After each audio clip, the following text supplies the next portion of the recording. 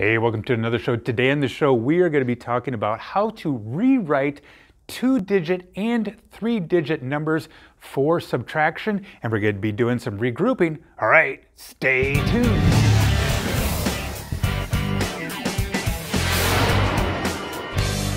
Hey, welcome back to the show. We are going to be talking about rewriting problems. For example, if I have a problem that is like this 35 minus 21. That problem written like this, it's a little difficult for some people, and including myself sometimes, to figure this answer out. So let's go ahead and rewrite it. So basically, I'm gonna, I have a two-digit number, and to start out with, what you can do is you can take a line like this, make three lines, and this is going to be your tens, and this will be your ones. And after a while, you won't have to use this at all. And then I'm going to put a, line down here, and this right here will be your sum. This will be your answer. So basically, I'm going to write the first number right up on the top, 35, because this is the tens and this is the ones, all right? And now I'm going to go ahead and write 21. So I'm going to put 21 right there. And I'm going to go ahead and put my subtraction sign, my minus sign right there. Now I'm going to go ahead and do the problem. And remember, we have to follow different rules when we do subtraction. You subtract the ones first. You regroup if you needed. That is step two. And then number three, you subtract the tens. So let's go ahead and subtract the ones. 5 minus 1. I don't need to regroup because the number on the top is bigger. So 5 minus 1, that's like taking 5 and taking 1 away from it. So that would leave me 4, all right? So let's go on over. We did have to do step 2, so now we do step 3 and subtract the tens. 3 minus 2, all right? Do you know what it is? Yeah, 1. All right, you guys are awesome this morning. 14. 35 minus 21 is 14. The sum is 14. Ready to do another one? Yeah, I know you guys are. All right, let's do it. Okay, we got our next number here 64 minus 27. Looks a little confusing, but let's put it on the board. We're going to rewrite it. So let's start.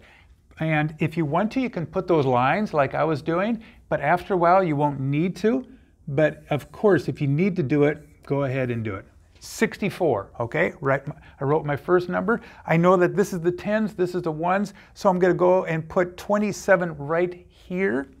All right. Now, uh, I'm going to make a little mistake. All right. Some students, when they start writing, they kind of write a little sloppy.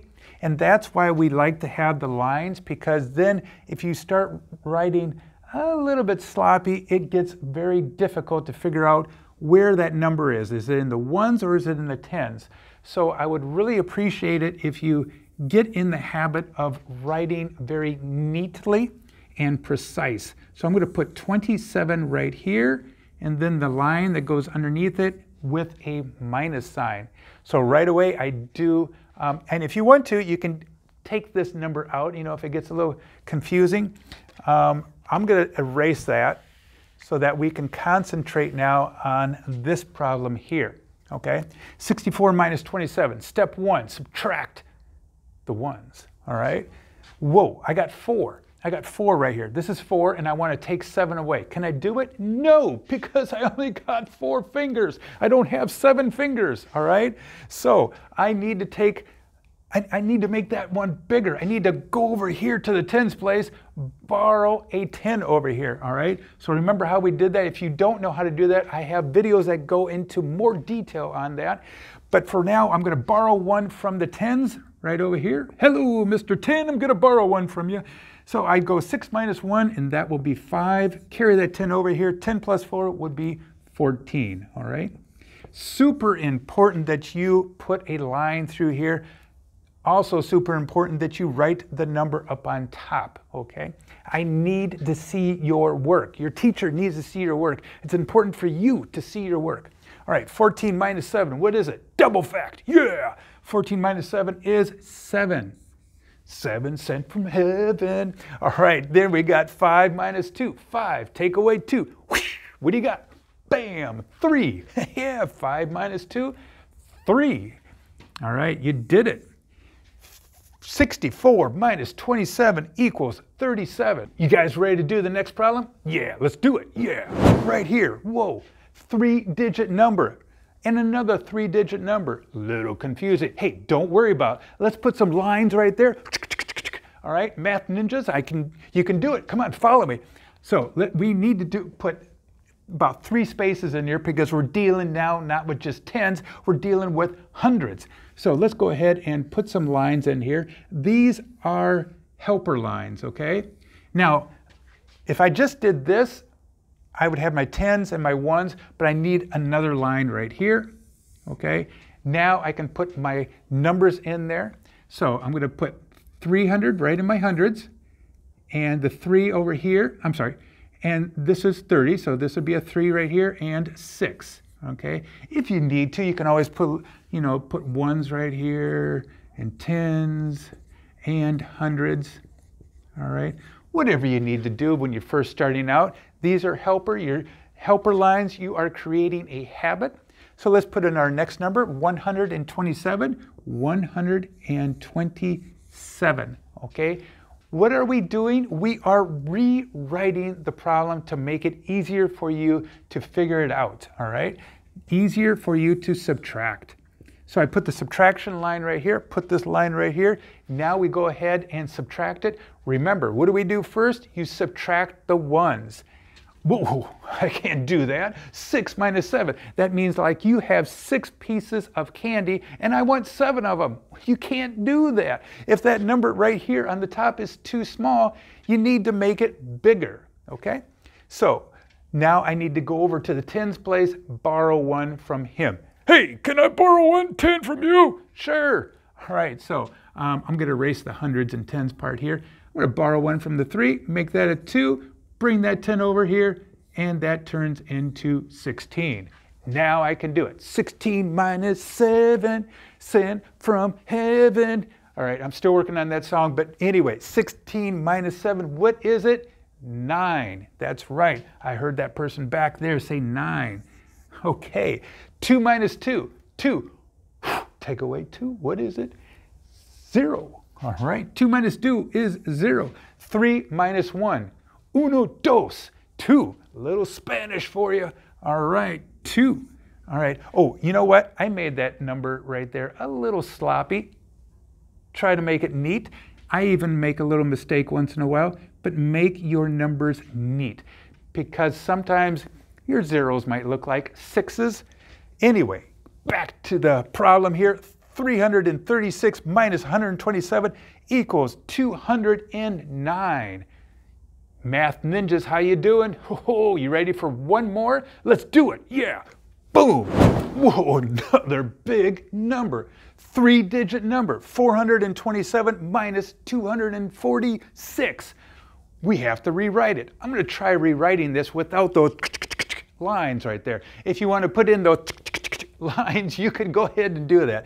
But I'm going to see how I'm going to do it. I just need to make sure that I write very neatly. Okay, so I'm going to write the number 427. Remember, what are we doing? We are rewriting the numbers to make it easier to subtract, or if you're doing addition, to add. 427 minus 246, 246. Now, I'm going to slow down a little bit to see if I did this correctly. I want to make sure that I have my ones all lined up very neatly, my tens lined up neatly, and my hundreds lined up neatly. Did I do it? I think so. I could probably have this line a little bit straighter. Remember, it create we want to create a habit of neatness. Okay, let's start on our first number, 7 minus 6. Remember, you have 7 something and you want to take away 6. Can you do it? Sure, you can do it because this number is bigger on the top. Take away. 7 minus 6 is 1. Uno. Yes. All right, let's go. And we didn't have to regroup on that. Let's go to our tens. 2 minus 4. You have 2. I, and I have 2. You have 2? No, I have 2. I have 2. You want to take away 4. Can you do it? No, I don't have two fingers right there. Yeah, I need to regroup. Hey, Go over to the hundreds house. Hey, Mr. Hundred, can I borrow one? Sure. So you take one away from the 4. That leaves you 3. Add it to the 2. This turns into 12. He's like, I am now 12. Very powerful. You can take things away from me now. 12 minus 4. We're always having fun on this show. 12 minus 4. What is it? 4. Ooh, that's a big number. How can you figure this out? 12 minus 4. We got 4, 5, 6, 7, 8, 9. I got to use my other finger. 10, 11, 12. 5, 6, 7, 8. All right? 8, 9, 10, 11, 12. I always like to recheck. All right? And you know what? If you have fun with math, math is fun. So make it fun.